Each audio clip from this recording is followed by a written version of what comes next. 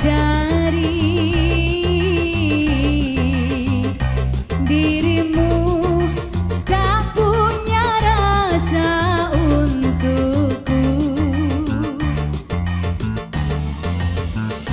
berjuang